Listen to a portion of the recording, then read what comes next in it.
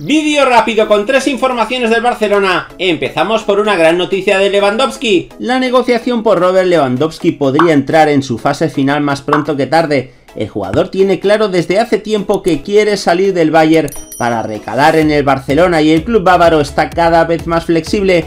En estas últimas horas Sky Alemania informó que el Bayern de Múnich ha puesto una cifra para dar su brazo a torcer y aceptar el traspaso y el adiós de su máximo goleador. La cantidad está en 50 millones de euros fijos. Si el Barça ofrece lo que desea el Bayern, Lewandowski ya no volverá a entrenar más con sus compañeros. De hecho, el delantero polaco tiene que volver al trabajo precisamente este martes 12 de julio, pues es el día en el que acaba su periodo de vacaciones.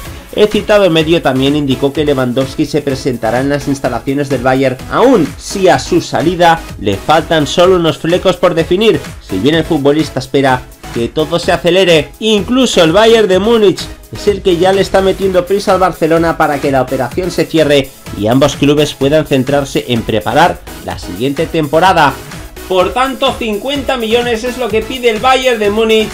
Si los paga el Barcelona, el polaco será Blaurana. Vamos ahora a hablar en este caso de una posible salida del club culé. El guardameta Neto es uno de los integrantes de la famosa rampa de salida en Barcelona. El brasileño busca minutos sobre el verde, no los tendrá con Ter Stegen con la plantilla y tener un rol más protagonista en su próximo destino. Se especula con su llegada al Celta de Vigo. Ahora esta incorporación parece estar más cerca. Ser informó de que los gallegos llegaron recientemente a un acuerdo con el Meta para que se incorpore a sus filas, aunque no gastarán dinero en su fichaje. Para ello el arquero necesita la carta de libertad de los culés. El citado medio añadió que los vigueses no quieren pagar por un jugador que queda libre en verano de 2023, cuando aterrizaría a coste cero Ahora tiene la palabra de Barcelona, que tendrá que sopesar y aceptar esta condición con tal de liberar fichas.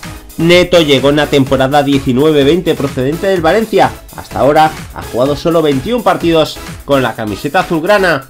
Por tanto, vamos a ver si fructifica la salida de Neto. Vamos ahora a hablar de dos perlas que sigue el Barcelona en el mercado de fichajes para ficharlas de cara a la próxima temporada. Según TIC Sports, el Barcelona va a adquirir una perla argentina que se desenvuelve como lateral izquierdo. Roman Gabriel Vega es la joya de Argentinos Juniors que a sus 18 años está cerca de poner rumbo a la ciudad condal para ser nuevo jugador en este caso del Barcelona B.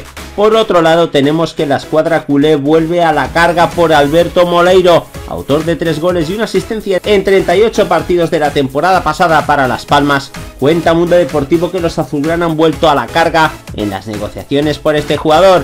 Pese a su reciente renovación con una cláusula de rescisión de 30 millones, los dos clubes negocian un traspaso en condiciones similares a la de Pedri, un 15% sobre la plusvalía de una futura venta, además de otras variables en función de los objetivos que vaya cumpliendo el jugador.